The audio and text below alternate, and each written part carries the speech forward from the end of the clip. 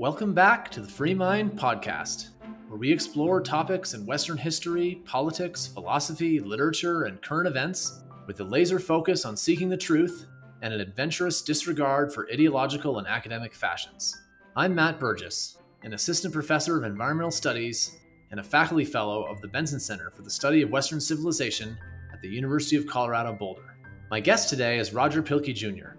Roger Pielke Jr. is a professor at the University of Colorado Boulder who studies the politics of science and authors a popular Substack blog called The Honest Broker. He has a popular book by the same title.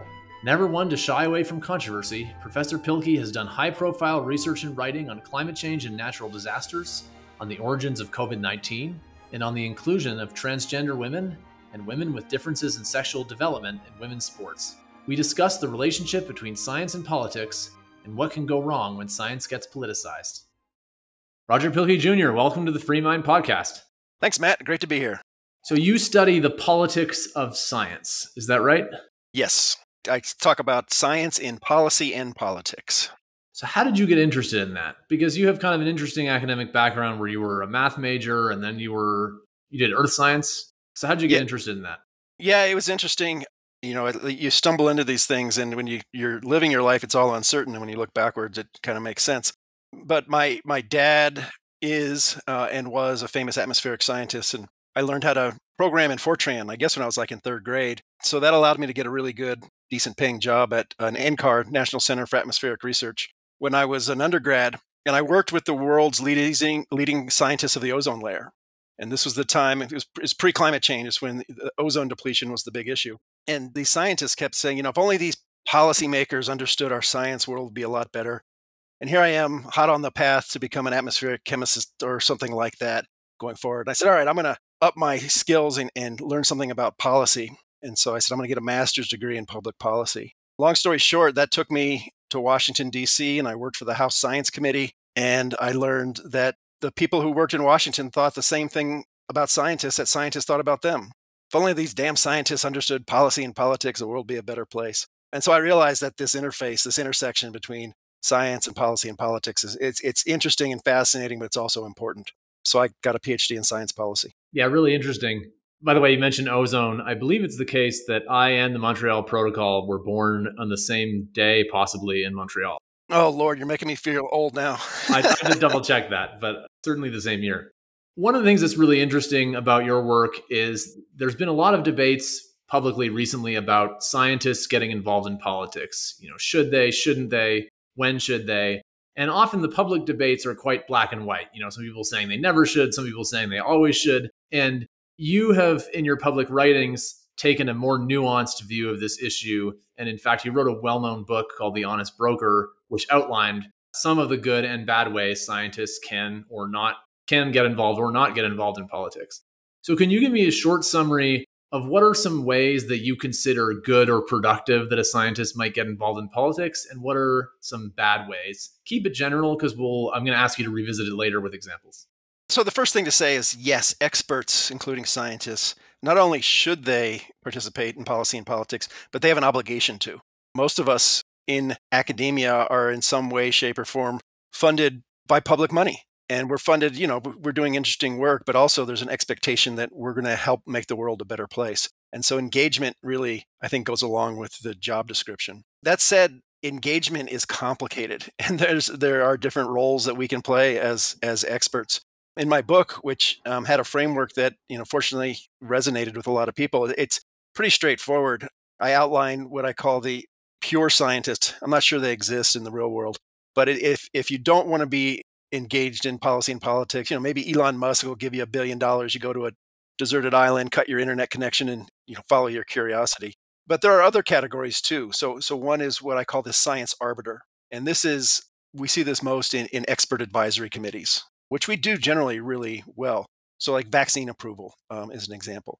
Um, another example of uh, a way to inter- intersect with policy and politics is advocacy. We're all political creatures. We all have values. And so, you know, it's very common for scientists to go out and, and demand what they want, you know, just stop oil or, you know, vaccinate your children. And advocacy is characterized by, by wanting to limit scope of choice, usually to a preferred outcome. At the other end of the spectrum from advocacy is what I call the honest broker of policy alternatives. Sometimes policymakers don't need to hear what we want them to do, but they want to hear what they could do. What are the choices? What are the options? And we're all familiar with honest brokers.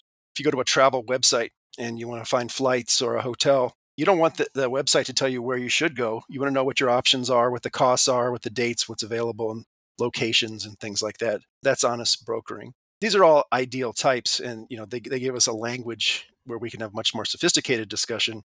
There is another category, a fifth category that I call stealth advocacy, and it happens a lot, and it's it's embodied in the phrase "just follow the science." The idea that we are dispassionate, value-free oracles, and the science speaks. And really, what that does is it smuggles the the values of the the scientist or the expert into political discussions kind of in the guise of science and and that I've long argued that makes science more political rather than politics more scientific. Let me revisit this for a second. Here's an example that so you know I study economics of climate change among other things and here's an example you know in cli- related to climate change that economists find vexing and would you agree that this is an example of of stealth advocacy when people say things like climate science, usually meaning physical climate science, proves that we need to abandon capitalism. That's maybe an extreme example, but things like that.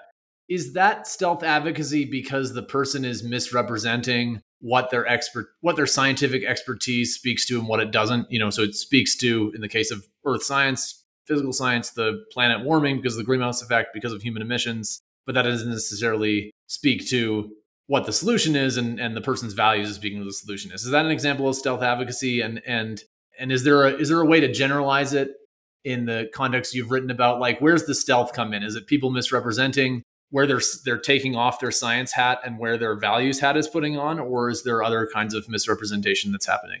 I've long argued against the two hats um, sort of argument because you know we're all humans and we don't it's very difficult to like take yourself out of your your preferences and values. We have institutions and procedures for doing that, but I'll illustrate it with this example. So often we hear the claim the IPCC says we have to cut emissions by 50% by 2030. And what is left off from that is the conditional. So if we want to have a, you know, a probability of hitting the, the Paris 1.5 degree target, then that implies we would have to cut emissions by a certain amount. The 1.5 degree target is itself a politically chosen, fairly arbitrary, nice round number that's been negotiated in politics. So science isn't telling us we have to cut emissions, we're telling ourselves.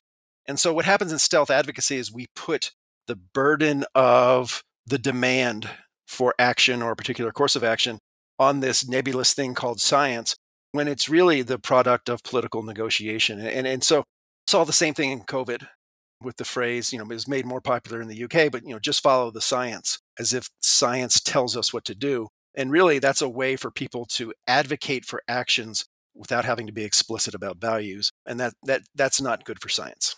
So let me try an example of what I think might be something you would be more okay with in your issue advocate framework. Suppose a scientist said, if we don't cut emissions by, you know, 50% by 2030, then the science leads me to believe that that makes it quite likely that we're going to miss the one and a half degree target.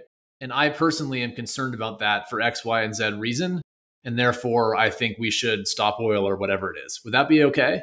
Yeah, I mean, that's perfectly fine. I mean, the default mode for just about every uh, of us in every context is advocacy, and that's fine. The distinction between stealth advocacy and formal, you know, out in the open advocacy is the degree to which you're being open about that advocacy stance. Not not that advocacy is inherently bad or good. I mean that's that's what the the fuel that democracy runs on. So advocacy is fine. It's it's and there's this technical term in, in science and technology studies called the value free ideal. And you know there is this view that well we need to separate science from politics and uh, you know all we want are the facts and we don't want values to get in the way. And the reality is that you know in very simple cases, sure maybe you can do that like a weather forecast but in more complicated cases like COVID or climate change, values and science are all mixed up together. So, on a related topic, would it be fair to say that one of the things you're well known for is calling out scientists and scientific institutions that you think have been stealth advocates or have, have some way violated your ideals for how to engage in policy and politics? I think it's it's fair to say that when science is used as kind of a Trojan horse to smuggle in political or values concerns, it should be it should be a concern to all of us. You know, the idea of calling out scientists, you know, another way to say that is, you know, that's what we do in academia. That's that's our job is to science is a self-correcting process.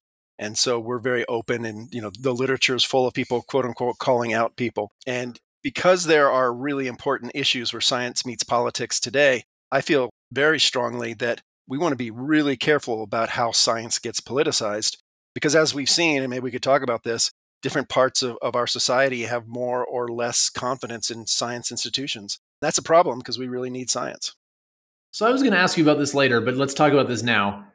What you just alluded to, right? So that their trust in, among Americans in universities has gone down by something like half or more since 2015 driven almost entirely by independents and Republicans, such that Republicans, for example, used to trust, used to have confidence in higher education by something like 60% trust, and now it's less than 20%.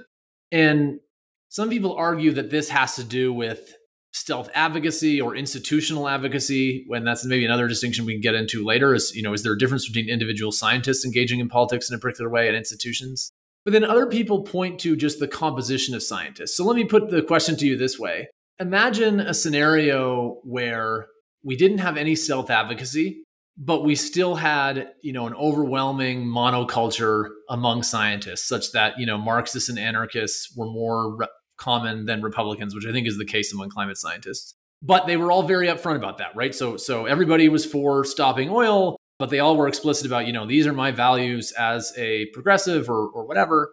How much of a difference would that make in, in the trust? You know, I think the problem of stealth advocacy is, I think, a, a separate issue from the, the loss of trust in, in institutions. I mean, we've seen society wide, you know, a, a general downward trend, you know, really across the board of trust in institutions, whether it's Congress or the media or science. But one thing that's interesting about the scientific community, as you suggest, the scientific community and academia in particular tends to have a lot more representation of people who are on the political left than on the political right.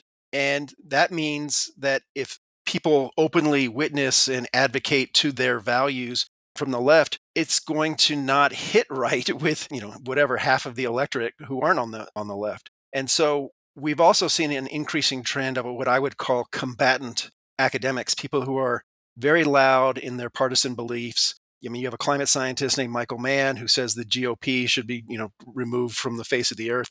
The editor in chief of Science, I just had an exchange with him on Twitter yesterday or the day before about his overt advocacy for democratic causes. If I go to a doctor and the first thing I hear from them when I walk in is, you know, I love this drug. It's my favorite thing. I assign it to all my patients. You know, I'm going to question, you know, whether he's serving my best interests.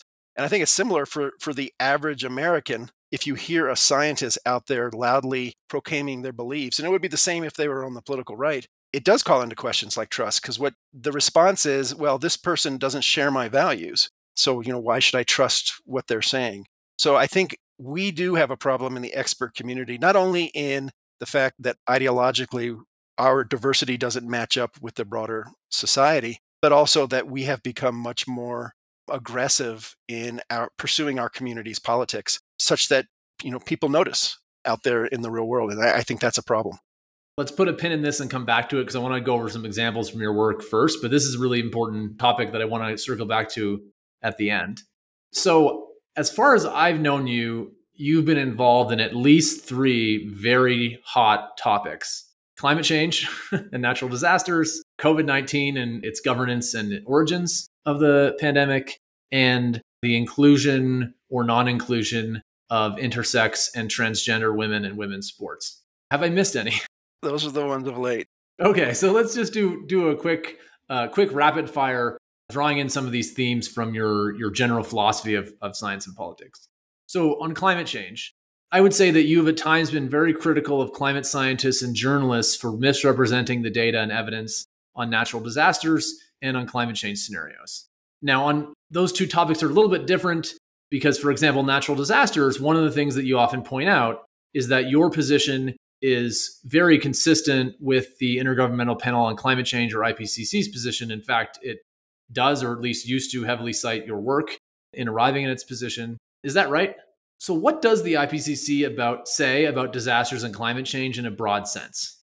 The top level finding conclusion, which has been consistent for you know more than a decade, is that disasters, and so a disaster is where an extreme event meets, meets an exposed and vulnerable society. Disasters are primarily the result of what we build, where we build, our preparation for these events, not the number or trend in those events themselves.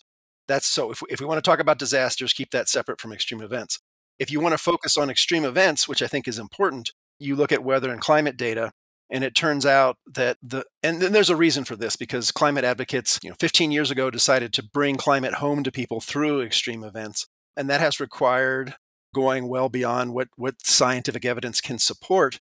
And so it's, you know, no surprise to anyone listening to this every single extreme weather event that happens anywhere in the world is really quickly taken up in the cause of climate advocacy. I think it's important for two reasons. One is I was just talking to somebody in the reinsurance industry earlier today. There are people making decisions about risk who need to be well informed based on the science, not just for advocacy. And the second reason is that getting back to the issue of trust, we want people to trust us. And if there are claims made, for example, you know, there's more tornadoes or more hurricanes hitting, and you can check on Google in five minutes and find that that's not true, you are definitely not going to trust the people who are, who are making those statements. So I do think calling things as they are, that's the job of the IPCC. It's done a very good job on extreme events. We all have an obligation to do so, even if it may not in the short term contribute to our advocacy goals. And you know, for me, I started doing research on extreme weather as a postdoc in the 1990s.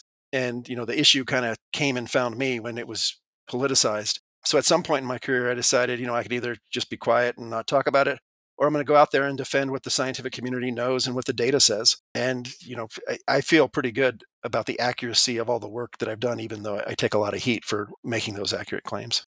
So let me try to steelman what might be, and I don't think it's really an opposite view, but might be a, a somewhat different perspective, which would be that with any extreme weather event, it seems to me, and correct me if I'm wrong, I'm you know I'm an economist, I'm not a climate scientist, so correct me if I'm wrong, but it seems to me that there are gradations of the extent to which attribution is appropriate for a particular event. So, so for example, you know, like you said, tornadoes. As far as I know, there's no evidence that tornadoes are getting stronger because of climate change. So, if somebody says that, then that's just they're just misrepresenting the science. Or another example, again, correct me if this is wrong, but I believe it's the case that the models have eastern Canada becoming wetter as we get warmer, and therefore, you know, wildfires in Quebec may not be more likely because of climate change than they were before. And we had a big wildfire in Quebec recently.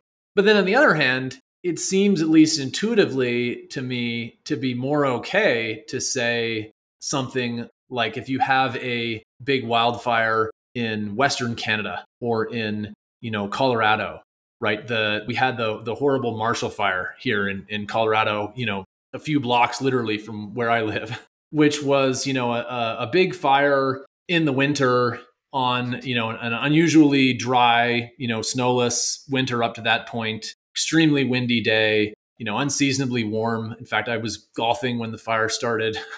and so would it not be reasonable to point out that those conditions, even though it's hard to say this particular event happened or didn't happen because of climate change, is it not reasonable to say that the conditions that made this event more likely are attributable, at least somewhat, to climate change? And wouldn't that be useful information for policymakers and for citizens who are trying to understand, you know, how much of a concern climate change should be? There's a couple things here. So one, it's exactly correct the way you're doing this is you go phenomena by phenomena because it's different for heat waves than it is for tropical cyclones and so on. The second thing is climate change is real. The climate is changing. We can attribute things like heat waves, average temperature, precipitation patterns, um, and variability in certain places. The thing to understand is that the IPCC has a very formal and technical definition of what detection and attribution are. And those involve looking at trends and spe- specific statistics of weather and climate over many decades. And there are other ways we could think about, you know, attribution. There's a new field of event attribution that's purely statistical that's arisen, I think, largely because of the failure of the IPCC's ability to detect and attribute. But yeah, so what you described is a storyline approach and the storyline approach says exactly you know that that well we know that the some of the underlying conditions are related and that's fine that's perfectly fine and it's not a particularly i would say quantitative or rigorous approach I mean, the reality is that all of our weather every day is affected by the fact that we're pumping not just greenhouse gases into the atmosphere, but we're changing the albedo of the planet, we're putting aerosols, we're changing land use. So of course humans are affecting the climate and I you know I think that's long been settled. If you care about things like flood damage or damage from tropical cyclones or tornado damage, then you will want to know have those events become more or less common. And you can do it globally, you can do it regionally, you can do it locally. And in many instances, we have good data on which to, to answer those sorts of questions. And it just turns out that a lot of the claims that are made out in public far exceed what the scientific, scientific community can back up. And that does make a difference beyond the hot politics of climate change. If you're trying to set pricing for insurance in California or Florida for fires and hurricanes, then you want to be actuarially sound. You don't want to do it based on you know media reports and political messaging. If you're building a bridge or the Boulder Library in the floodplain, your design criteria are going to be based on your expectations of what you need to prepare for. And if you you can either underspend in preparation or overspend. And both of those are, are economically inefficient. So I think there are real good reasons out there beyond just, you know, we should always, you know, play it straight, but also better decisions are grounded in better evidence and science. So we should get it right on extreme events. So I think, correct me if this is wrong, but I uh, one I think there's a difference between extreme events and scenarios, which is where we're going next, at least in how you've written about it, which is that it seems like with extreme events, you know, the IPCC essentially summarizes the literature. And so if the IPCC's description of the science of extreme events is accurate, you know, and reasonable in your view, then it sounds like you're saying the problem is communication, right? That there's there's journalists that are that are taking claims out of context. There's maybe some scientists on Twitter, there's activists. Is that right? And and if so, you know, where where does the problem lie if it's not so much in the scientific literature? One distinction I think it's important to make as we have this conversation is that we have evidence for what has happened from the past, whatever date we have for eh, data from up to today. So we, we, you know that's one way to look at things. Another way to look at things is, is how we project the future and how things might change. When we're looking at the past, there's good data out there that's kept by agencies like NOAA and their equivalents around the world, and the IPCC does a nice job of summarizing it. Deborah Guha Sapir, who is the owner, the leader of the EMDAT database on global disasters, has said publicly that you know they've had press conferences where they've said very clearly that the number of global disasters from all weather phenomena worldwide has gone down in, in the 21st century by about 10%. That's good news. And her frustration is, well, nobody will report that because there's a narrative out there. So I think it's not just that people don't understand it's that people don't want to understand and that there is a very strong powerful narrative. And can you imagine if you're a, reporter at the new york times and you you write an article and your editor allows you that says you, you know hurricanes have not gotten stronger they've not gotten more intense. And in fact the last three years has seen record low since 1980 this is true in the number of intense hurricanes worldwide.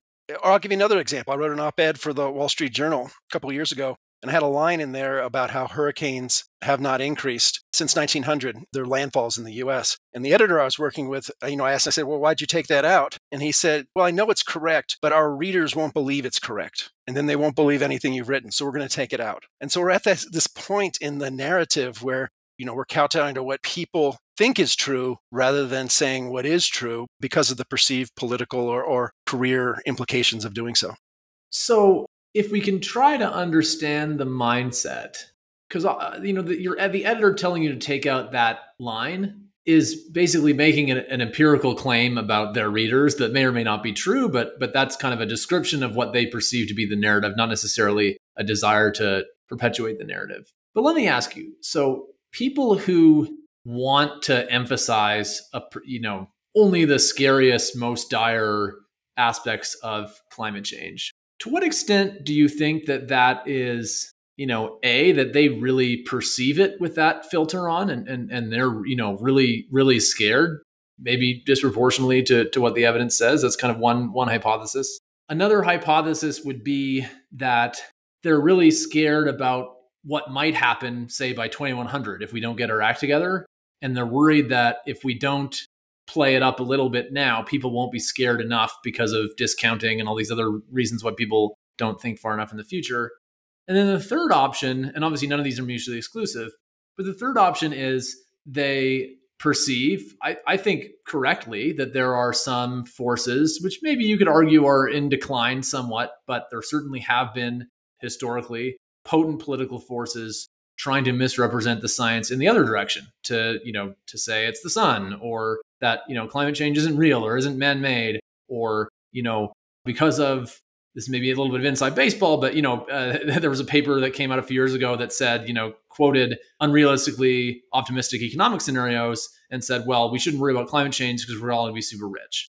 So, which of those three, or what combination of those three hypotheses, or some other ones, do you think are driving this desire to to fit a particular narrative towards more alarm? I mean, I think there's some truth in in each of your three examples there. I mean, you and I both have had this experience in the classroom. I mean, there's some particularly young people are truly afraid of climate change, a significant proportion. And this is, shows up in the opinion polls, but it also is matched by my experience talking to uh-huh. environmental studies undergrads. Same here. So, yeah, I do think that there's legitimate fear. And I think the fear is stoked by a lot of the media coverage and, and what they hear. I also think that there are, among advocates and scientists, a very powerful theory of change out there that the way we get climate action is we scare the bejesus out of people and that'll motivate them to you know vote a certain way or support certain policies or whatever you know this is the the weapons of mass destruction in the Iraq war theory. Climate policy requires decades, probably the better part of a century of political support. You can't keep people in a state of fear for for decades. so, I, you know, I just reject that as a as a theory of change. And then also, I think that there is among some people, um, and certainly among some climate scientists, a view out there that, you know, thou shall not criticize any aspect, any claim made related to climate science, lest you give ammunition to the quote unquote deniers. And so I, I do think there's been a very unhealthy dynamic, both in science and in, in the media, where any counter view dissent from a particular narrative is equated with supporting climate deniers. And I, you know, I've heard this up front there's a theory that's out there, you know, from about 20 years ago called balance is bias about the the media um, and the idea that if you're doing a climate story, there's only one side to tell. And you know, and science is complicated, politics is complicated, and there are ways to talk about these complexities without bringing in, you know, people who think it's the sun or flat earthers or whatever. And you know, in in in areas of science like COVID, there's been a lot more willingness to embrace you know diversity of perspectives. And on climate change there still is a, a, a, very strong prohibition against diversity of thought on on these issues. So just a really quick point about balance as bias because i think there's actually a really interesting distinction there. So as i as i understand it the theory of balance as bias which comes from a for those of you who don't know a, a famous paper by uh, max and jules boykoff in 2004 and that was about the science right? So so is global warming real? Is it is it human caused? And the argument was at least as i as i remember it was that if you know overwhelming majority maybe it's 97% maybe it's higher. There's a recent debate about that of scientists believe that those two things are true. And i think at this point it's fair to say that they're definitely true. We know that they're true. Does it not muddy the waters to have you know it's fine to have dissent but to have you know dissent equally represented say in the media or you know on that point not on the policy. I, I like I, I don't i don't think that there's yet been a version of balance as bias about the policy maybe there is in kind of the, the twitter and, and media narrative is that a correct distinction like like i guess where i'm going with this is i would argue that it's it's reasonable to say we should have the public presentation of the science be consistent with the science so, for example, you know, I don't think RFK Jr.'s theory about autism being caused by vaccines needs to get equal airtime as, you know, other views based on the science. But I think it's fine to have airtime given to people who have all different moral, ethical, policy views on, you say, whether vaccines should be mandatory, you know, for whom, under what circumstances. Is that, am I oversimplifying? So, I mean, it's interesting because I mean, you use this phrase, the science, and there's a big difference between is climate change real, yes or no, and how many hurricanes have struck the US over the last hundred years. The problem with the balance as bias thesis is that it kind of took over every aspect of discussions of climate change. And so if someone goes in the media and says, oh, we have an increasing number of hurricanes, therefore we should act on climate change, and I come out and say, yeah, climate change is important, we should act, but we actually, the data says we haven't seen an increase in hurricanes, that is viewed as an improper balance of that original false claim. So the problem isn't that, I mean, it's almost trivial. Like, is the earth flat? Is it round? Well, let's hear the opposing view. You know, of course not. We wouldn't want to do that. But there's no such thing as the science when it comes to a lot of complicated things. You know, what caused the Marshall Fire? Well, it was a, a lot of things caused it, like bad development, open space policies, invasive grass species, you know, maybe a, a, power line down, maybe some burning that wasn't put out, and background climate change. Those all were part of it. And if you start introducing that complexity and, and a reporter or an editor says, well, you know, we're not going to balance out the climate change discussion with a down power line, that would be an improper use of the balance as bias thesis. And I see that an awful lot in the media. And it's not just a distinction between policy and science, it's that there's complexities and talking about complexities you know it's it's not appropriate to call that balance. That's that's just reality. Right but would it be fair to say that in the example that you gave that the problem is the people who are invoking balance as bias don't actually understand what the balance of evidence is right? Is that basically what you're saying in, the context of that's probably part of it disasters? and it's also yeah but it's also like that editor that i mentioned who fully understood what the evidence says, but didn't want to complexify the discussion for his readers, who his belief was have a very simple, if incorrect, view of quote unquote the science. Okay, so this is actually a nice segue into scenarios because I see scenarios as different from disasters in that with disasters, the research, insofar as it's summarized by the IPCC, is correct or balanced, you know, or fairly represents what we know in your view. And I think you know we've written about scenarios together you're much more versed on the the policy side of this and the history side of this but i, th- I think it would be fair to say that that one of the issues with scenarios is that the scientific literature is not representative of the evidence. In particular, there are some hot scenarios, most notably the one called RCP 8.5 or, or the new analog of it, SSP 5 8.5, that are used, you know, in we had a study in fisheries that found that it was used in about 90% of papers. And yet you know our work and other and work of other groups have suggested that this is a very un- implausible scenario. And then of course the results from you know using an implausibly hot scenario give you implausibly hot but very scary sounding headlines that then get perpetuated in the media. But it seems like it's a different problem because if the IPCC's job is to summarize the literature and the literature is very skewed towards these hot scenarios, then you could argue that the IPCC is is doing its job by summarizing the literature skewed towards these hot scenarios. But then it's not the same. You could point to, say, you know, New York Times headlines often being based on RCP 8.5 studies, and yet you couldn't say, you know, in contrast to the disasters, that they're that these headlines are, are coming from something that's that's not directly coming from the literature, because because in, in a sense it is. Is that right?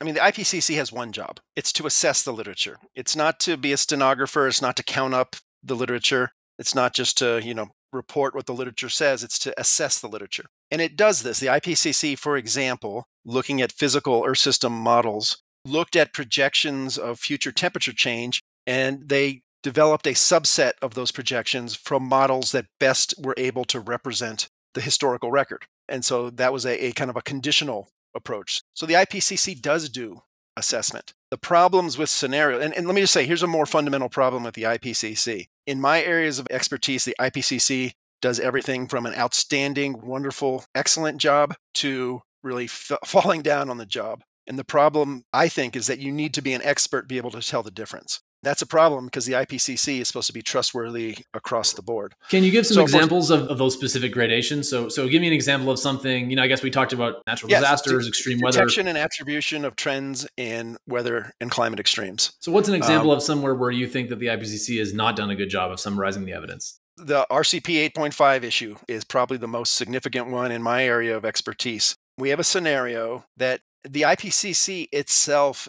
admitted it was in one chapter and it was kind of a passing comment that the 8.5 scenarios were low likelihood, a euphemism for implausible. And yet, RCP 8.5 was the overwhelmingly dominant, more than 50% of mentions across the, the six assessment reports. So the IPCC furthered the use of this out of date scenario. You know, it would have been very difficult very painful to try to excise that in writing their report. But if the goal is not just to summarize a literature, whether it's accurate or not, but to well inform the public and policymakers, I would argue that it's the IPCC's job to make those hard decisions. They still could have written that report and, you know, centered RCP 4.5 and you know to this day the climate science community is still pumping out about 20 peer reviewed RCP 8.5 papers a day and the IPCC, you know, all right, forget about what they did about the past. They could have been much stronger about, all right, going forward, we, you know, would be most useful to focus on scenario A, B, and C.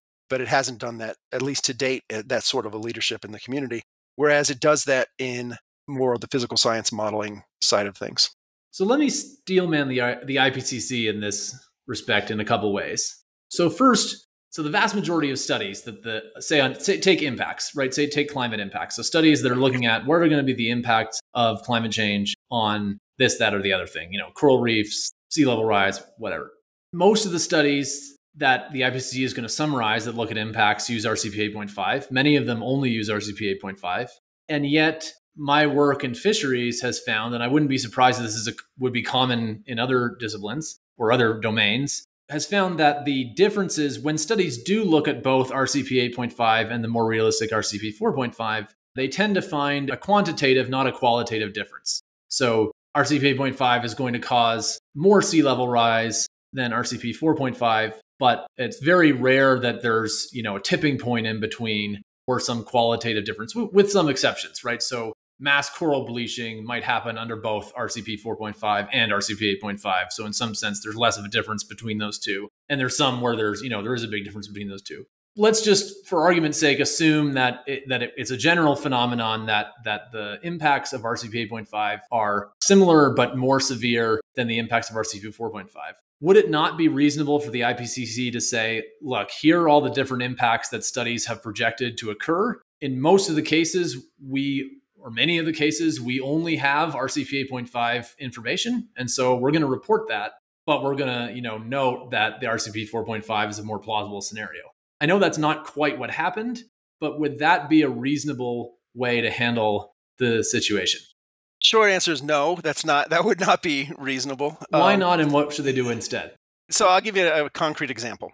If you look at the scenarios for sea level rise that the U.S. government formally uses under the U.S. National Climate Assessment, and they're they're put out by NOAA, great agency. At the upper end, they have up until this year used the, the 90th percentile of RCP 8.5, which is 2.5 meters by 2100. RCP 4.5 isn't just more realistic; it's it's you know a plausible upper bound for current policies today.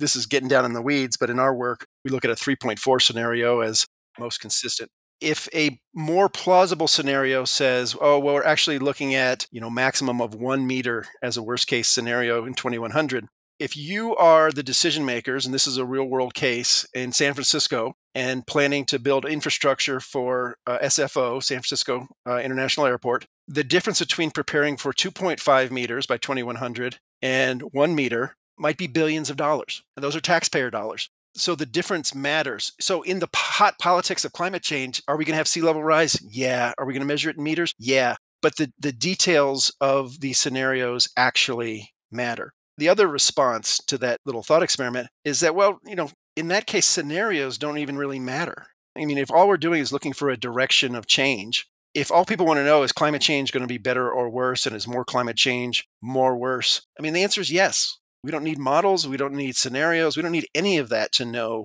those are the case. But if we actually care about things like, well, is it going to be closer to 2.5 meters or closer to one meter, then the plausibility of scenarios then takes on a really important issue. The last thing I'll say about this, and I'm going to go back to the weapons of mass destruction example. If someone says, well, you know, Saddam Hussein was a really bad guy. And, you know, he could have had weapons of mass destruction. And, you know, we found some old biological weapons in a, in a shed somewhere. So it wasn't nuclear weapons, but you know it's on that spectrum from you know benign all the way up to WMDs. So it, you know forget about the details; it doesn't really matter. he's a bad guy. You know, I don't think anyone would accept that sort of a hand wavy sort of argument. So if we know that the leading scenario that's in use is flawed to the point of being unusable, then we simply should, rather than making excuses for its continued use, just correct the scientific baseline for scenarios and then move forward with updated and, and new scenarios. You know, I am optimistic that the, the community is well aware of these issues and are moving towards more realistic, more plausible scenarios.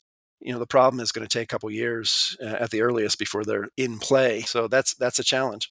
So that's a good segue into my second steelman of the ipcc and that is maybe if we're if we're only asking the ipcc to be the ones correcting the record, then given the length of their assessment cycle, maybe we're asking too much. I think a story that a lot of people who've been following our work might tell about the IPCC with respect to scenarios is that in the fifth assessment cycle, you know, which came out in 2014, RCP 8.5 was mentioned, was heavily mentioned.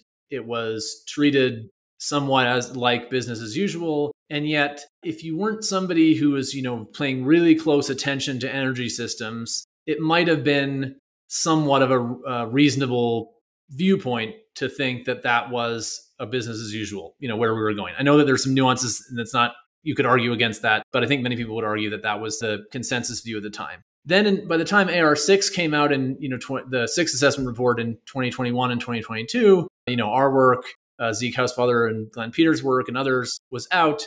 And the IPCC did acknowledge that this scenario probably wasn't plausible, even though you know the debate the public discussion of that in the literature came out fairly late in the in the context of that assessment cycle. And so they kind of acknowledged it but then you know still had to deal with the body of literature that hadn't caught up. And then in the next the seventh assessment cycle you know there have been some preliminary signs shall we say that you and i have seen that suggest it's possible this scenario will not be emphasized and may not even exist in that assessment cycle so I think I think a steelman view of the IPCC there is that the IPCC is doing its job of correcting itself within the constraints of having a six to seven year cycle, and so it's really up to the rest of us to be paying more attention to the how the literature evolves, so that the IPCC doesn't have to be the only group trying to right the ship when these kinds of things change. Is that fair?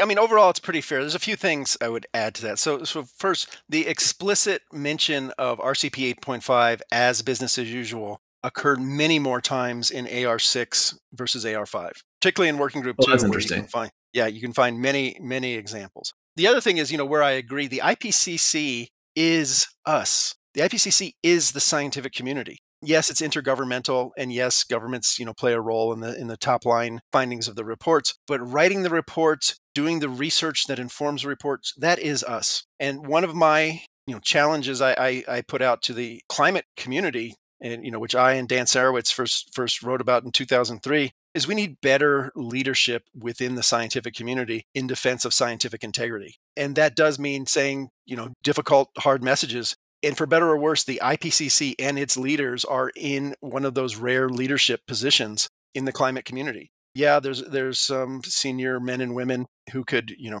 influence things, but you know where do you want to go if you want to find leadership in the community that can actually make decisions that affect the you know the broad spectrum? And it's people who create scenarios people who create models and it's it's of the IPCC and around the IPCC like the CMIP process and the modelers also. Final point on that is that the IPCC's heavy use of RCP 8.5 is I would argue one factor in why the IPCC almost a decade ago turn to carbon capture and storage as an essential element of their modeling going forward for policy solutions because this very aggressive scenario had so much carbon dioxide going into the atmosphere that the policy options they came up with were just incapable of getting it down to close to zero. So they, you know, quote unquote invented some bells and whistles in the in the models called BECCS, bioenergy with carbon capture and storage to mop things up. Turns out if we start with a policy trajectory more consistent with where we're at today,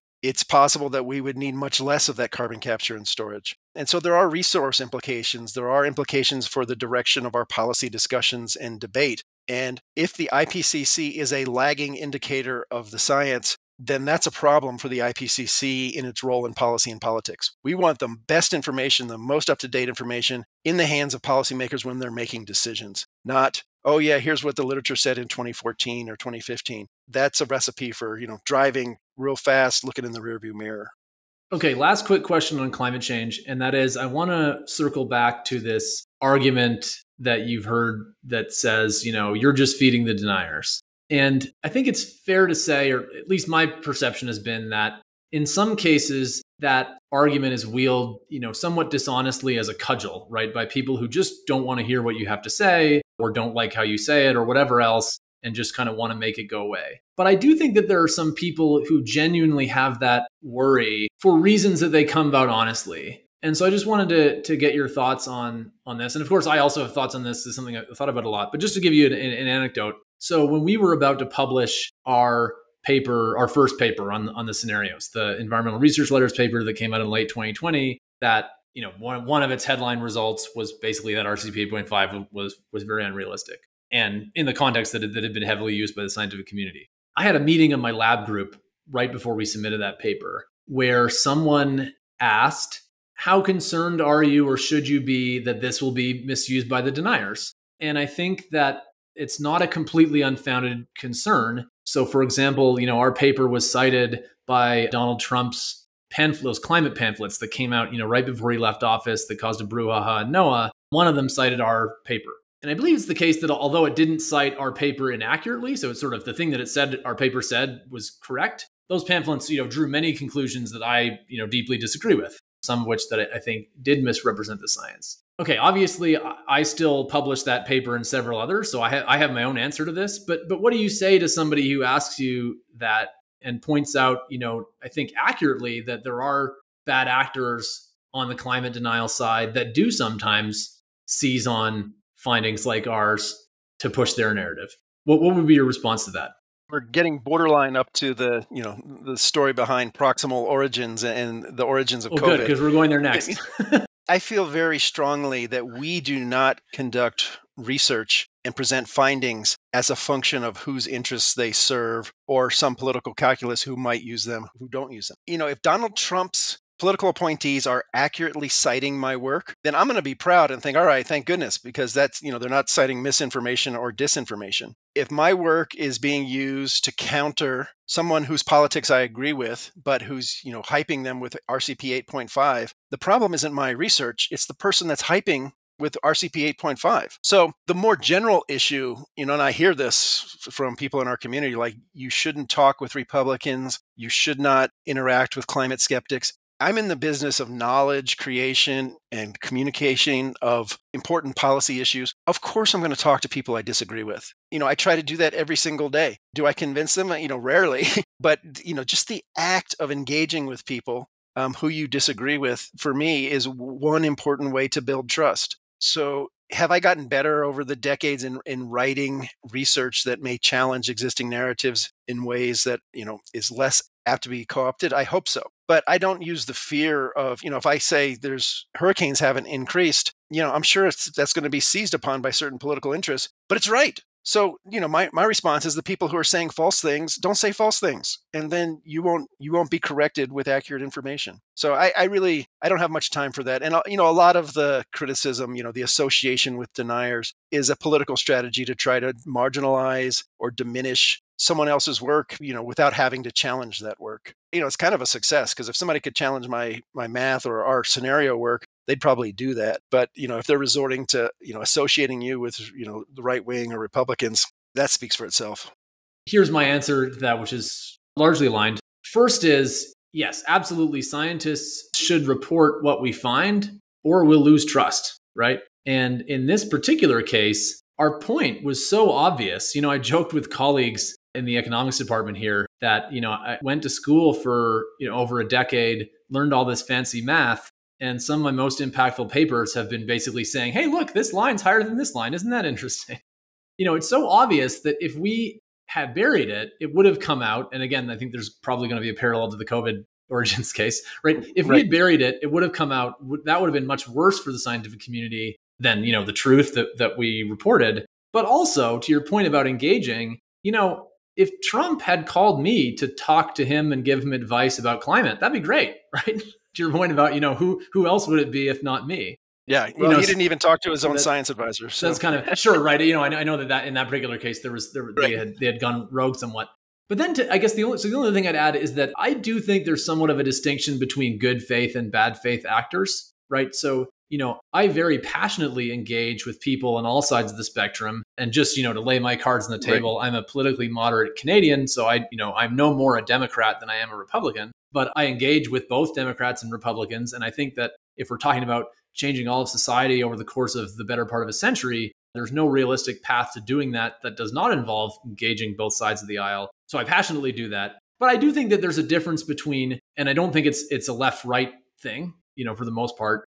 I do think there's a difference between, you know, people who are intentionally misrepresenting the science for some stealth advocacy in a, you could say reason, right? People who were who were funded by fossil fuel companies to cast doubt on the science because they that serves the fossil fuel companies' interests. To me, that's different from somebody who is say a you know conservative who's concerned about government being too big and concerned about freedom and concerned about reactionary approaches to climate change that look like communism which frankly is something i get concerned about sometimes. Like to me those two people are very different. I think that the, the second person you absolutely engage with that that's a critically important person to be in the conversation. I personally often don't engage the first type and it's not about you know that per se that they're denying the science or they're not wanting to do you know climate mitigation or whatever. It's it's more just that anybody who's not being honest about their own scientific process is is hard to have an engagement a real engagement with about the scientific process if that makes sense right? Somebody who disagrees with me but is operating in good faith is somebody that I can learn from and they can learn from me and we can find the truth together. Somebody who's not operating in good faith I do sometimes wonder if it's worth engaging with that person. In principle that makes a lot of sense to me and i of course agree. In practice i you know i see this a lot is that in the climate debate especially it has you know become so polarized that there's an operating assumption by, by many people including scientists that if the other person disagrees with me then they necessarily must be operating in bad faith I hear this sure. all the time. Like, you know, oh, Roger Pielke he testified before Congress at the invitation of the Republicans. Therefore, I can dismiss all of his research because the GOP is a criminal party and needs to be wiped off the face of the earth. I try not to make motivations of why people believe things that they do and just choose to to engage with them. Are there people who are out there operating in bad faith, promoting and hyping extreme weather? Probably but I'll engage with them just as I would somebody who works for the fossil fuel industry who says climate change is a hoax because, you know, I'd like to hear what their views are and I'll tell them my views and they're convinced or they're not convinced. But in the process of having those interactions, maybe we learn a little bit more about each other and, and our thinking there. So, so I tend to have a pretty open door policy to engaging with people. Everybody has their lines of people they won't engage with. But for me, if somebody disagrees with me, it's a much more interesting conversation than somebody who I agree 100% with. I haven't found that person yet, but but it would not be that interesting. Yeah.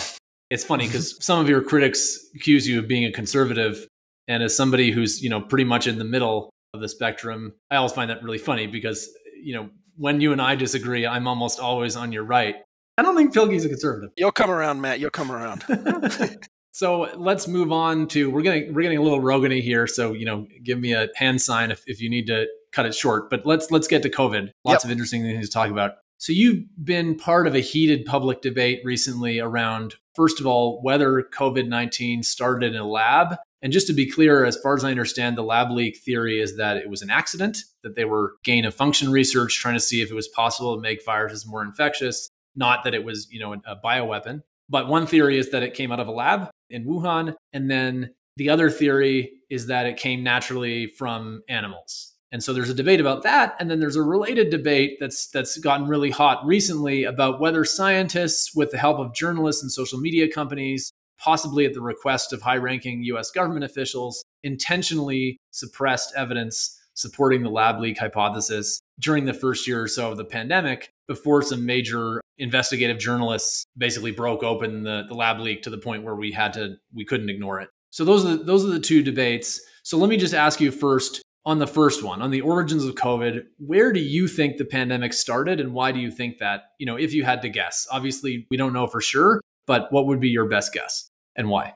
So I think this is this is where we start with, you know, what's your what's your operating hypothesis? And obviously it's been it hasn't gone unnoticed since the early days of the pandemic that it started in a place and very close to where there were laboratory work going on on SARS like viruses. If that's all you know and there's nothing else, then certainly the idea of a research related incident has to be in play. Since that time, there has been an enormous amount of evidence. And, you know, I, I do think there's some circumstantial evidence, and then there's some other less circumstantial evidence that suggests that, yeah, we should be taking that seriously. On the other side, yes, there's a wet market, and SARS 1 emerged in multiple markets and multiple locations almost simultaneously. That also has to be in play, also. The thing that gets me, and I, have written about this, is that we can construct a storyline that connects a research related incident to the events we've observed. I have not seen anyone construct a storyline that can plausibly explain how a wildlife related outbreak started at the market because it involves having to have animals who haven't been found infected transported 1000 miles across China infecting no one along the way and then all of a sudden creating a single outbreak at this market it's possible, it's less plausible to me. So, my operating hypothesis is that this was a research related incident until we get evidence proving otherwise. And regardless of whether it was or was not a research related incident, the policy implications, you know, just even if you think there's a 1% or a 0.1% chance that it was a research related incident, that by itself would be enough to say, all right, we need to have some serious discussions about, you know, so-called gain of function research, risky research with pathogens that's out there. The last thing I'll say is the amount of effort spent by virologists and government officials in covering up the possibility of a research related incident is also extremely troubling, both in China and in the United States, that there are some profound science policy implications that come of this beyond implications for public health. Okay, so you know, here in the Free Mind podcast, we can't reach out to people and ask for them for simultaneous comment. So be very careful to, especially if you mention specific people, to mention, you know, delineate clearly, you know, what is the evidence in the public domain that you're describing and what's your interpretation of that evidence. So let's talk about the the US because I, I think the Chinese the Chinese government suppressing evidence on COVID origins is fairly uncontroversial, right? Even if you think it's a natural origin, I think people think that they did that. And why they would do that is so obvious as to not be worth discussing. So let's talk about the, the US government and the, the science community. What is the evidence that you've seen that suggests that the US officials within the US government and leading virologists intentionally suppressed evidence about a possible lab leak? This is one of the most incredible aspects of this whole situation is that we actually have the correspondence, the communication among US government officials among the scientists in the early days of the pandemic talking about both the possibility of a, a so called lab leak versus natural origins and deciding together to craft a message that was not, in fact, what they believed. I mean, this has been widely reported. I, have written on it. It culminated in a paper called Proximal Origins that said that no research related incident is plausible and was used for, you know, really for years to put down broader discussion. Normally, in these situations, we have no idea what goes on, you know, backstage, so to speak, to use Stephen Hilgartner's words. But we do in this case. And it's, it, I think, fairly incontrovertible that there was an organized effort to manage the discourse. And, you know, again, getting back to motivations, people have proposed why there would be these different motivations, ranging from the fact that the US government allegedly has funded some of the work that went on in Wuhan that may be related to the research that could have led to a lab leak, to career interests of some of the scientists, to concerns about Donald Trump, to concerns about uh, international incident with China, to concerns about how research in virology might be more strongly regulated if this was a lab leak. So it's a really interesting situation because we do have all of this evidence of a cover up that was put in place. We don't know exactly why, and I, you know, I, I really think that you know if this is a play, we're in the first intermission.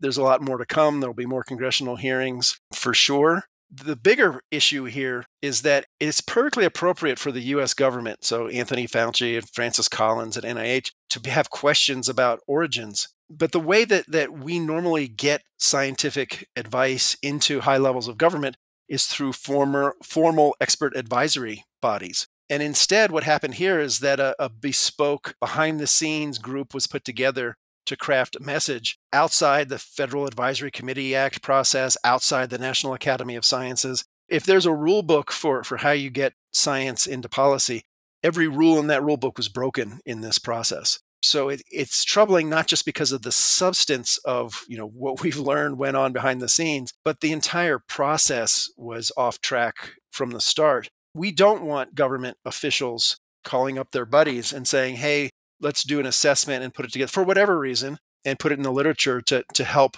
tamp down." I think is the quote discussion of you know one particular outcome among many so this is a, a deeply troubling and you know i think it's i've written this one of the most significant scientific scandals certainly of my lifetime and you know there's more to come out here but it's not it's not a great moment for science and policy so quick follow-up question as a fair-minded but more casual observer than you are i just want to really specifically go through you know parts of the story you just told and ask you about kind of the, the evidence for each one. It's a fact that this paper was published in Nature Medicine right in 2020 called The Proximal Origins of COVID 19 that said, you know, did have some hedging, right? Maybe evidence will change our minds, but did, ha- did clearly state in one line that they didn't believe that the research origin or lab origin was possible. And so that's kind of fact number one. And fact number two is that it, it was definitely the case that journalists and scientists on Twitter and other kind of public forums for quite a long time after that often citing that paper, suppressed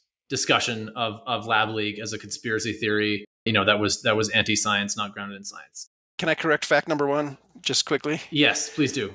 All right. So the, the proximal origins paper had no hedging about origins. It, it presented three theories for origin, two that were natural based, one that was lab based. It dismissed the lab base unequivocally and then said, well, we don't know which one of the two natural origins might be. Further evidence might push us in one direction or the other. But there was absolutely no hedging about possibility of a lab leak. The folks on the other side of this debate argue that there's one sentence at the end where they, they leave the possibility open that new evidence will change their mind. But I take your point that the papers that one sentence is not is is not referring to a lab leak. That's in arbitrating between the two natural the two origins. natural origins. Okay, okay, yeah, that's yeah. that's a good that's that's a good clarification. Thank you. So facts one and two.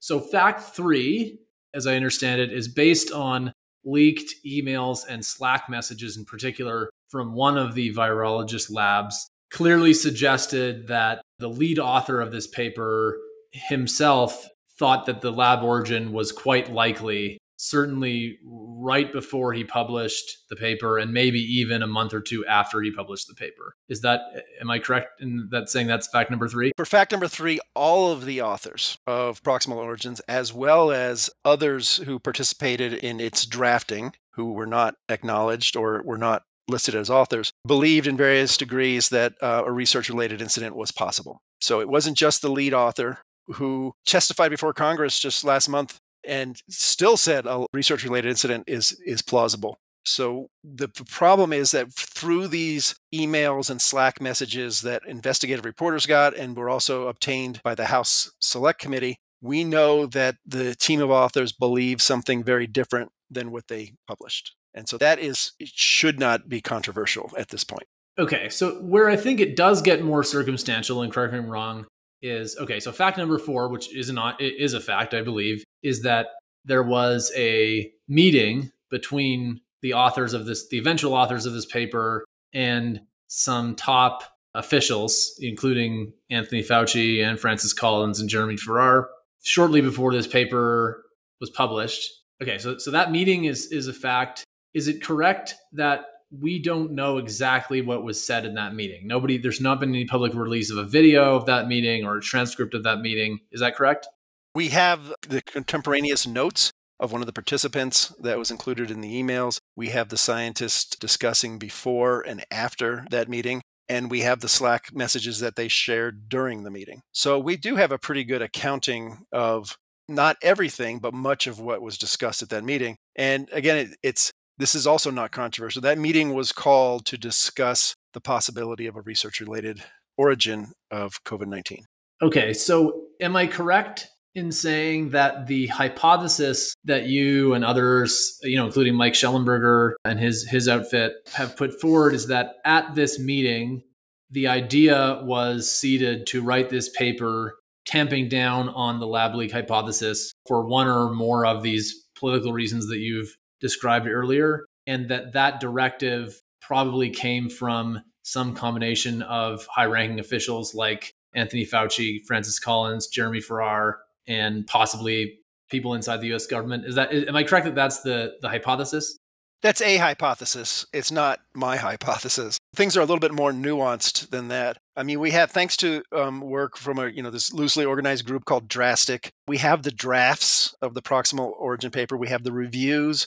We see the changes that were made in it, and it's clear that Farrar and Fauci and Collins wanted to de-emphasize a research related incident but the first draft of the paper included that as a as a possibility. There was a request made by Jeremy Farrar, at the time head of Wellcome Trust, big funder in public health, now chief scientist at, at WHO, who changed a sentence that allowed for the possibility of research related incident to rule it out. And then when it went to Nature Medicine, the authors made it even stronger in that direction based on their belief that it would be more likely to be published. So, all along the way, there are these, again, very direct evidence of the paper allowing for the possibility of a research related incident to downplaying it and then to eliminating it. And I think, you know, there's another factor there that, you know, the lead author had a center proposal to the NIAID, which was headed by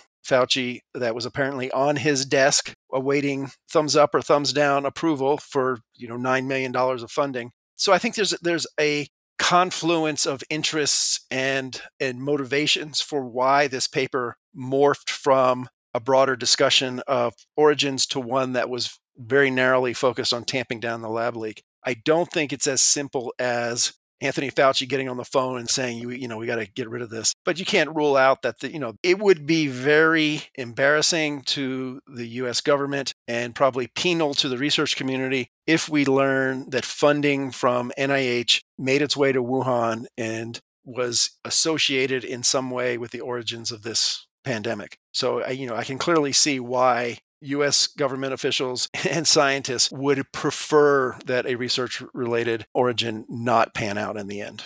And specifically, there were, you know, some of the high ranking officials that we mentioned. If US funding had gone to the Wuhan lab, it would have crossed their desks, is one of the concerns, also, right?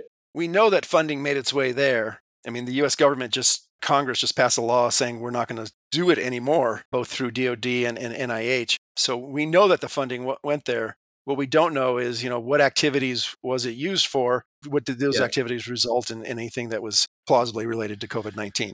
So, just to tie this off, your hypothesis is basically that, you know, there was this call to try to understand possibility of a research incident. The idea was formed to let's write a paper on what we know about the origins, which on its face is not an unreasonable thing to want to do. And then, kind of maybe slowly, over gradually, over the course of writing and publishing and submitting you know, and reviewing and and, and re- rewriting that paper, that various pressures from various sources push the narrative away from lab leak, you know, more so than both the evidence and the authors themselves' interpretations of the evidence suggested. Is that your hypothesis?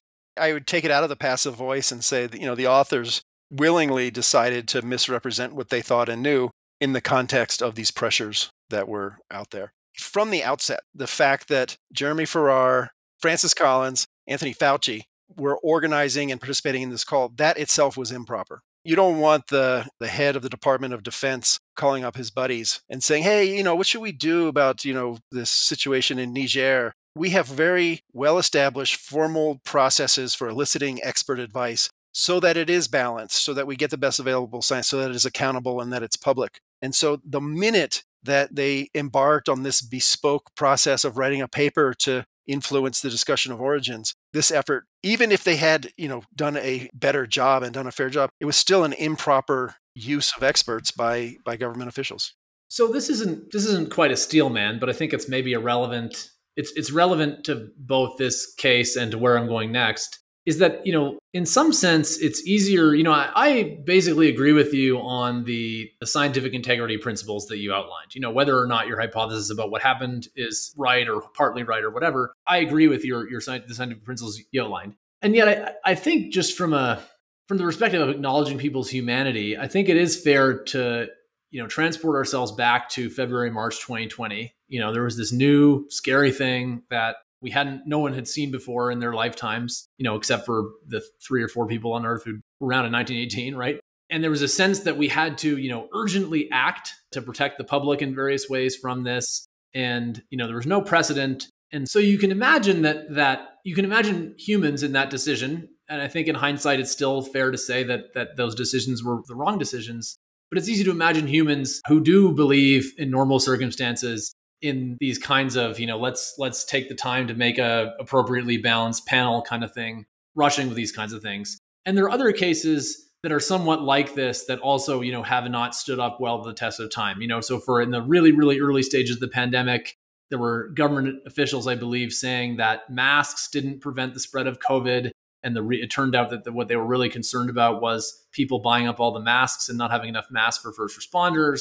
And then, of course, that changed to mask does help the spread of COVID, and we should all be wearing masks. And then, and that that was at least partly right. I think that there were, as far as I understand, there was a scientific debate about whether small children wearing masks made a difference. And you know, someone who had small children during the pandemic, I can tell you that the way that they wore the mask was not super effective. You know, and there are other things, right? The protesting is another one, right? When there was a, a right wing protest in the Michigan state capitol, it, this was this, you know, horrible pandemic super spreader event. But then, you know, when it was Black Lives Matter, it was, you know, white coats for Black lives. This is a great, important thing.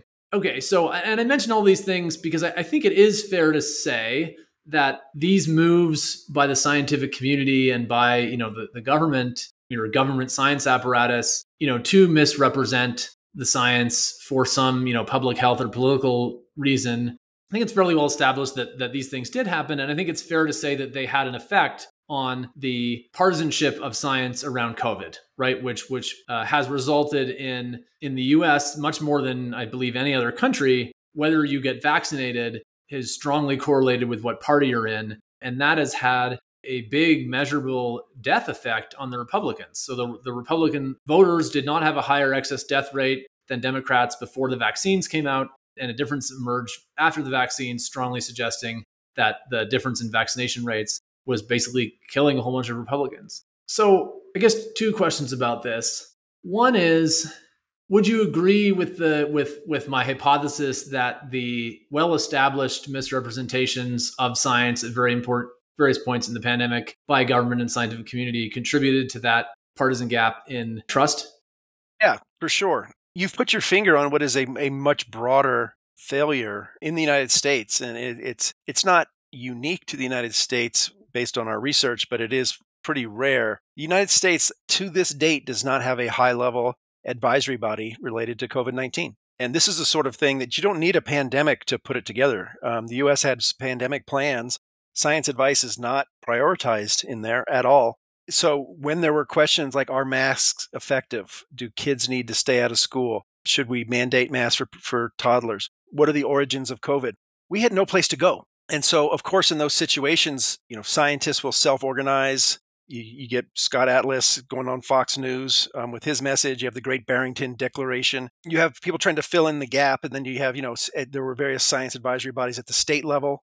Every university had one. Sports leagues had one, and you had all of this different information that was out there. This is not to say that if the federal government does it, they're going to be right or always have the best information, but they are a touchstone.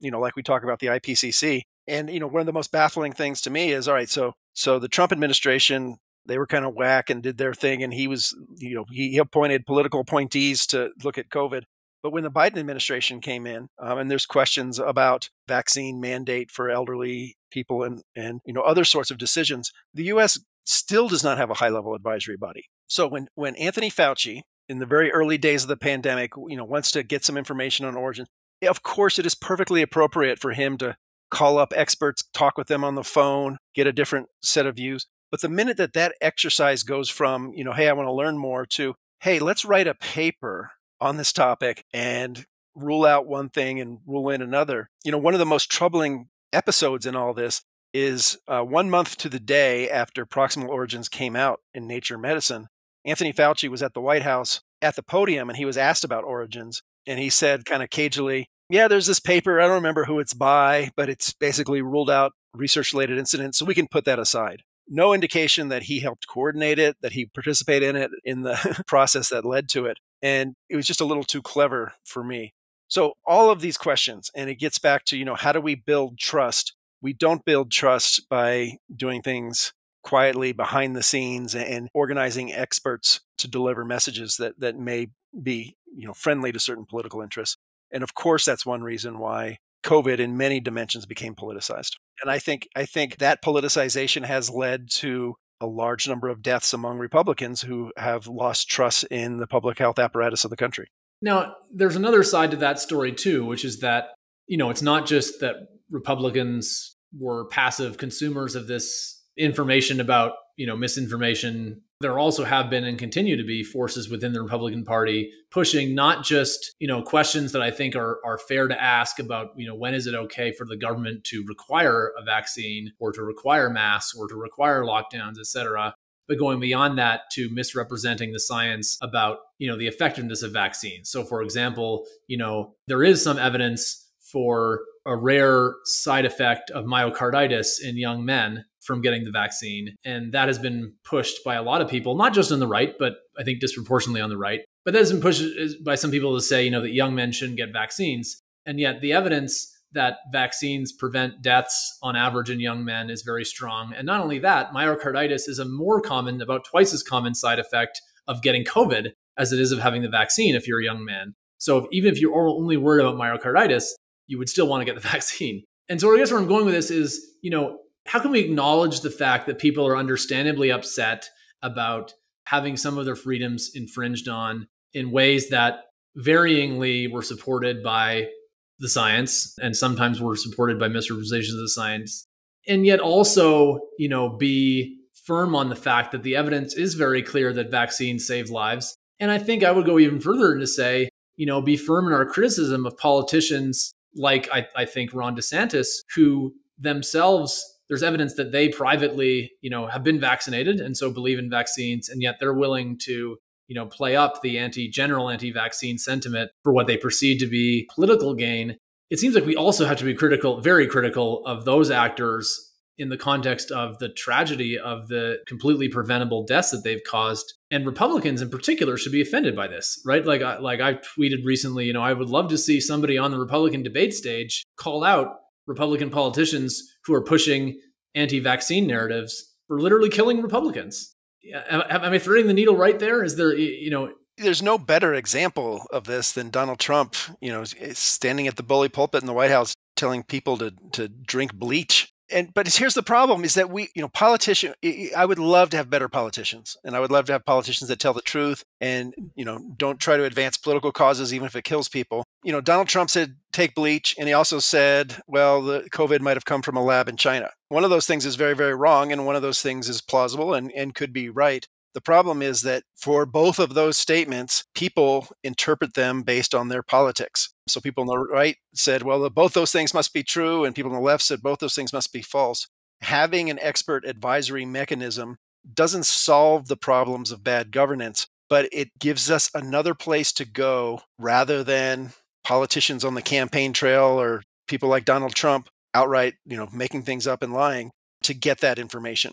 In making important policy decisions, we want to have the most reliable, best information available. We are never going to get that from politicians.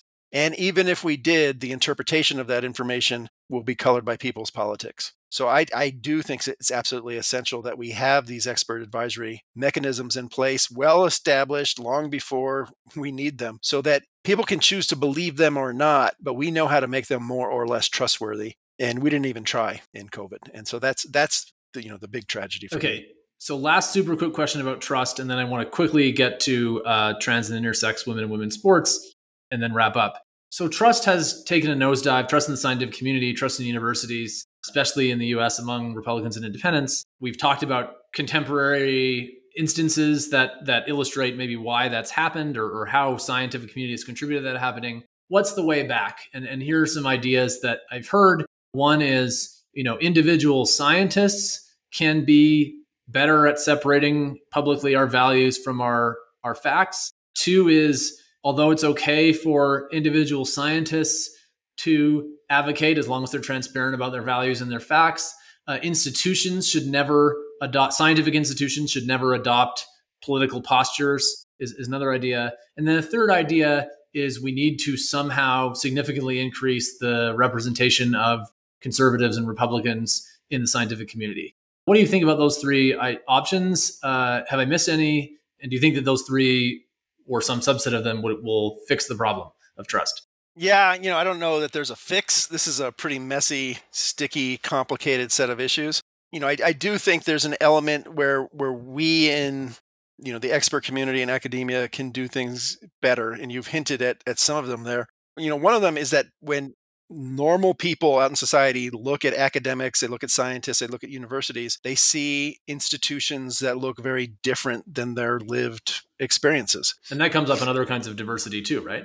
Right, absolutely. I mean, we both we work at a university that is has the highest proportion of students from families in the top 1% of any public university in the country. It's you know, it's an elite place universities in general, research universities, not community colleges or or normal universities, and it's disproportionately populated by researchers and faculty who come from the political left. So even if people are being open and, you know, fairly representing their views, what people, normal people will hear is a whole bunch of people on the political left out there. And, you know, in some of the research I've done, if you look at the 1950s, 1960s, universities used to be a much more ecumenical place when it comes to political diversity. It was still about three or four to one left to right on the faculty.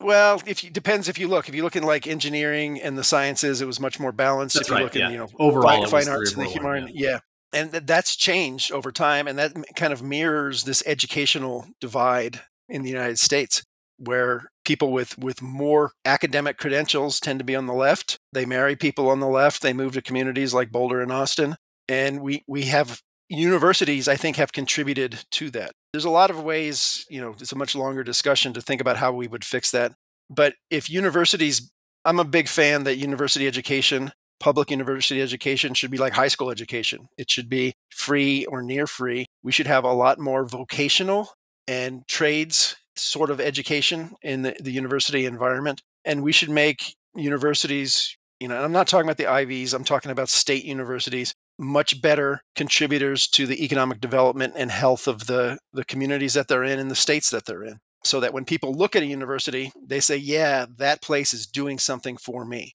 instead of looking at a university and saying, I don't know what that place does for me, but I do know the people in there don't talk like me and they don't share my values. So that's that's one thing. Another thing is we need to do a much better job of opening our doors to students from across the income spectrum. You're familiar with the recent work by Raj Chetty and yep. others that shows that you know the, the wealthier you are, the more likely you are to get into an elite university. Uh, massively so. Among so we, the super are, elite, the the upper middle class yeah. are actually the the most exactly. biased against. Yeah, and I would think that's you know that's probably you know to some degree at the you know the R1 research universities have similar trends. If you take a look at some of Chetty's earlier work, there's a disproportionate representation of students whose families are in the top 10% or top 1% of the of the income distribution. We're perpetuating a system where the elite, the economic elite benefit from universities and society. And if people in general don't see benefits from universities, they're not going to support them. They're going to lose lose confidence in them. Last thing I'll say is, is a statistic. If you look at the number of people, adults in the US economy who have terminal high school degrees, something like 60 million people. It's a massive number. And if you look at the number of PhDs, it's you know less than 5 million. So I think we need to do a better job of, you know, doing research, doing teaching, opening our doors, making universities much more open to the wants, needs, interests of the broader population. And we haven't done a particularly good job of that. Yeah, I agree with that. And I'd love to dig into it, but we probably don't have time. And I have another guest coming on later this season who's going to just talk about that because he's writing a oh, book oh, about it. So, la- last topic, really quickly, I want to touch a little bit on your work on trans and intersex women in women's sports.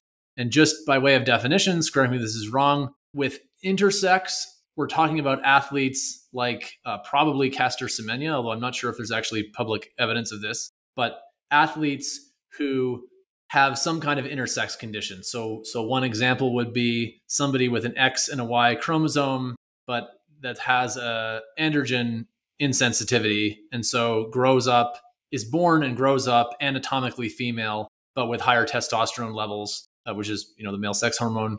For anyone who doesn't know, higher testosterone levels than is typical in developmentally typical women.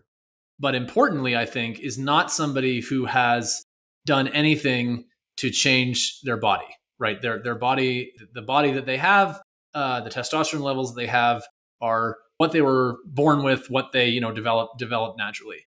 So there's athletes like that, Caster Semenya, you know, probably being one of them, uh, who's a South African middle distance runner. And some people say that these athletes, when they you know are anatomically female and compete and have been women their whole lives, right, and compete in women's sports, that some people say you know that they have an unfair advantage because of their testosterone levels. Other people say it's not fair to force them to have a medical intervention they don't need to compete. And so that's one thing. A related, but I think distinct question has to do with trans women in women's sports. So these are people who were born anatomically, biologically male and transitioned at some point in their lives to being uh, female, either socially or surgically or some combination of those. So, so there's some that have had, you know, what people call top surgery, but not bottom surgery on hormone supplements, et cetera. And there's also a controversy about whether those trans women should be competing in women's sport. And again, the issue is do, does their uh, history of anatomically male development, in many cases male puberty, give them an unfair advantage in sports? So, how did you get interested in this topic, first of all? Because it's a bit different from some of your other stuff that we've been talking about. I mean, I, and I tell people it's it's the same stuff. It's it's science and scientific claims in a very heated political context where we have to make policy decisions. I got into it about 15 years ago. I was teaching science and technology studies to graduate students as part of our, our graduate certificate program. And I realized that some of our students were coming in, shocker, I know, kind of jaded and you know they, they'd been hearing about climate change all their life and you know a lot of the issues that we typically talk about they had all the answers they didn't want to you know read anymore so i said all right i got to find a topic that is new and fresh that really exposes the challenges of using and incorporating science in policy and in, in very politicized contexts um, and in 2009 in berlin caster semenya burst on the scene. And at the same time uh, there was a runner in south africa oscar pistorius who ran on cheetah blades. I said, aha, here's, here's a, a couple of examples that I can bring into the classroom. So I started teaching the Semenya case as a question of, you know, sex and gender regulation in sport and Pistorius as the technological augmentation or modification of the human body and, you know, the ethics and the, the science related to that. Um, and as you know, if you're going to teach something, you got to learn something about it. And so I started, you know, incorporating my research. And by 2015, 2016, I was, you know, writing peer-reviewed articles on it. Um, and then by 2019, I was uh, invited to be an expert witness uh, for Caster Semenya in her case based on some of the research we did. And one thing led to another. And um, I've been working pretty, pretty heavily and uh, on this issue for more than a decade now. So, really quickly, and feel free to push back if this is actually not a simple question. In your opinion, should intersex women and trans women be allowed to compete in women's sports? If not, why not? And if so, are there any conditions that they should have to satisfy or, or not? So one thing is the terminology intersex has kind of come and gone, and the you know the language now is variations of sexual development (VSDs), and you know the language has changed, evolved as time has gone by. I think the the Semenya case is actually ridiculously simple. A woman was born female, identified as female, raised female, entered sport as a female, has been female continuously all her life. Then she's a female. That's actually the definition of a female. If sport wants to go out and start regulating unfair advantages that one male might have over another male or one female has over another female, well, guess what? That's a can of worms because sport right. is all about identifying. Arms, right? so for that one, I think it's it's super simple, and I think nobody needs to be looking at anybody's chromosomes or administering sex tests. If they've been a woman all their life, they're a woman. If they've been a man all their life, they're a man. That one's easy politically and procedurally, it's not so easy, but that's my view on that. If somebody changes categories from male to female, female to male, of course, it is perfectly reasonable to think that there might be regulatory implications for classification. We have men's and, and women's sports categories for a reason. But the thing to remember is that when we regulate sports categories, we're not regulating people. We're regulating the notion of an unfair advantage. And here's right. where it gets complicated. What's an unfair advantage in judo is probably different than table tennis and it's probably different than archery. And so, one thing we need to do is to define what is an unfair advantage. How do we know it when we see it? How do we measure it? And is it possible to mitigate it? And so mitigation might involve things like testosterone suppression. But then you are regulating people, are you not?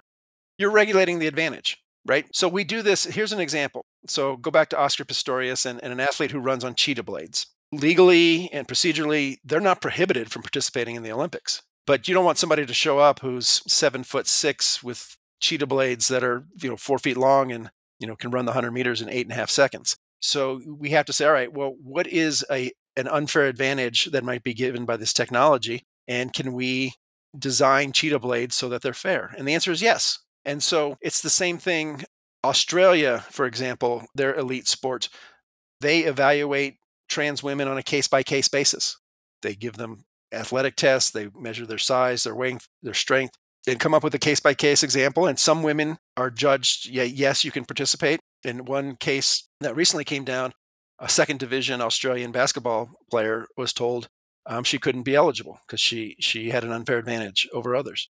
I mean, the other thing that for people to understand is that the number of trans athletes that are out there is ridiculously small. There have been 70,000 Olympians since 2000, and two have been trans women. And so if people are concerned about unfair advantages in sport, the best estimates of the prevalence of doping in sport are, you know, between 30 and Much 60%. Higher, right? You know, you have tens of thousands of dopers and two trans athletes. With Spencer Harris um, and Scott Jedlicka, we have a paper coming out on U.S. high school sports um, and their regulation of trans athletes. I really feel that the focus on trans women athletes is much more part of a, a larger cultural movement against LGBTQ people in society and an effort to stir up a, you know, a political wedge for electoral advantage. I will note in the 2022 US elections, in the exit polls, trans athletes in sports came came near the bottom for Republican voters. So as a concern, you mean? As a concern compared to it's things the like the economy, stupid, right? yeah, yeah, yeah. so we'll see if the if this issue has political momentum. I am sure that there will be legal cases fought over this, uh, and it'll be settled in the courts, and probably not soon. So, you know, I, I think a nuanced approach to to trans women eligibility, sport by sport, individual by individual, is always going to make the most sense. It's not red meat for partisans where, you know, anything goes, you know, declare your gender on race day. That's never going to work. Um, and ban all trans women. That's never going to work either.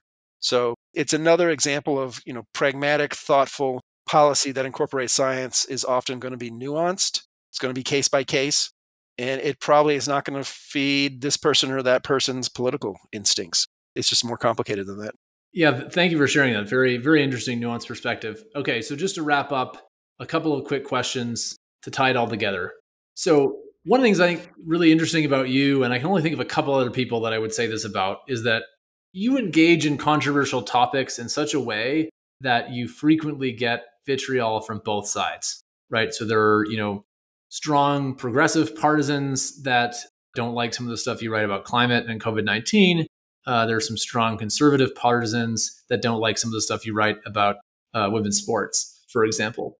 And I think that there are probably a lot of young scientists, you know, who, who follow you who on the one hand admire your courage of convictions, you know, whether you they agree with you or not, but probably also wonder, you know, how much abuse does he get, and uh, and how does it affect his his day to day life? And so, what would be your answer? My answer is, I mean, we don't teach this particularly well in the in the scientific community because we say, you know, engage in science communication, go out, have impact. And you know, the, the response is, well, what do you think impact looks like? You think impact means that people are going to send you roses and say, oh, that was a brilliant idea. We're going to put it into policy and, and thank you. When you engage in important issues, by definition, they're almost always political. And that means there are winners and losers. And so for me, you know, nobody likes vitriol or being attacked. Of course not. But at the same time, if your work is influential and impactful as we want it to be, guess what? That's going to happen. It's much preferable as, as a policy scholar to being completely ignored. It means that people are taking your ideas seriously and they're afraid of them for whatever reason. You know, so far, I mean, one day I'll disappear and, you know, nobody will see me anymore. But if I'm going to be doing this sort of thing where I'm engaging in important topics, you know, producing science and participating in policy, then I'm all in. Um, and that means sometimes uh, you have to take the take take some criticism. but that's okay. It's uh, I mentioned I just testified about the U.S. Senate. I got mm-hmm. some criticism because I was invited by Republicans. If I get invited by Democrats, Republicans, Bernie Sanders, I'm going to go. Oh yeah, for sure. I would too. So it just goes with the territory, and I, it doesn't bother me too terribly much. I got tenure, um, you know, in my 50s. I'll, I'll be okay. I do worry about you know younger scholars who have career implications. We don't teach the consequences of effective science communication particularly well because in general, you know, people try to seek shelter with their tribe and there's protection there, but that lends itself to some of the tribalism that we see out there. And we should have a lot of freedom to call things like we see them. So, one last question, digging into this a little bit, and I'll just preface it to say with, that I agree with you in the main point. In fact, I've told my students, you know, almost exactly the same thing that, you know, if you want to do paradigm shifting research, then you have to be ready to break somebody's paradigm. That person's probably going to be powerful and not happy with you. and so you have to be willing sure. to to take heat if you're going to do any anything that's influential. But I also think that there's a difference between heat of just, you know, people who are respected or not or just anybody loudly, vehemently, aggressively disagreeing with you and you know, people coming after your job or issuing you death threats. And I do think that if you engage in some of these controversial topics, it is reasonable to expect that that one or both of those things will happen.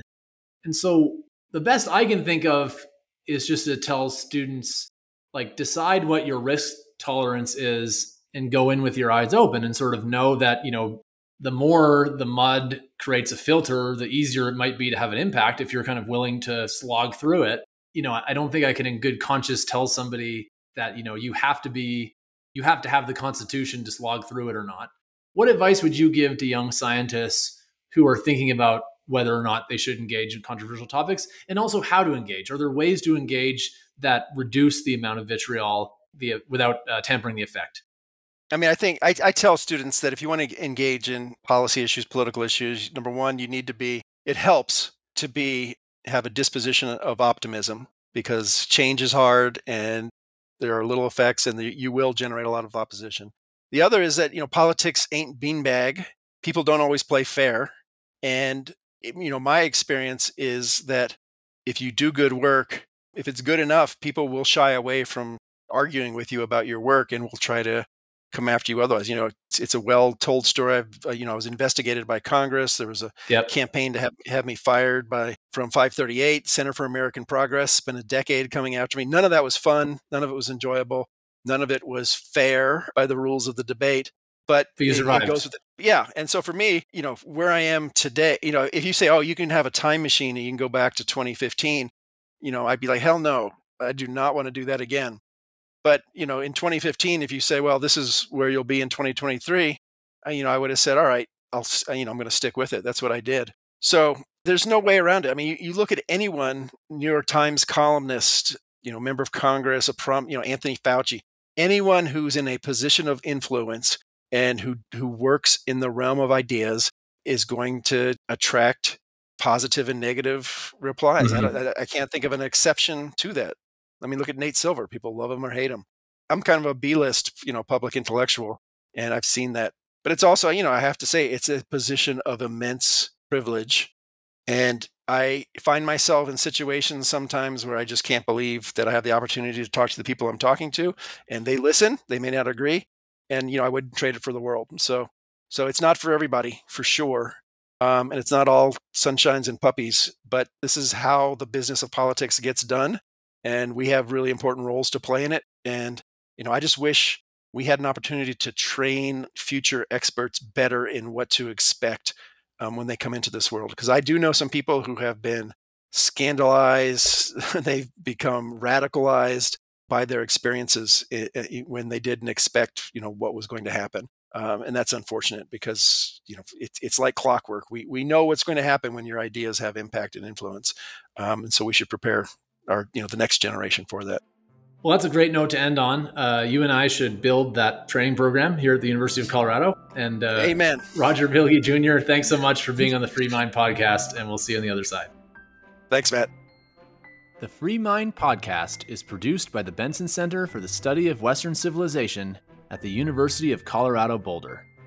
You can email us feedback at freemind at colorado.edu or visit us online at colorado.edu slash center slash Benson. You can also find us on social media. Our Twitter, LinkedIn, and YouTube accounts are all at Benson Center. Our Instagram is at The Benson Center, and the Facebook is at Bruce D. Benson Center. Benson Center. Benson Center. Benson Center. Benson Center. Benson Center. Benson Center.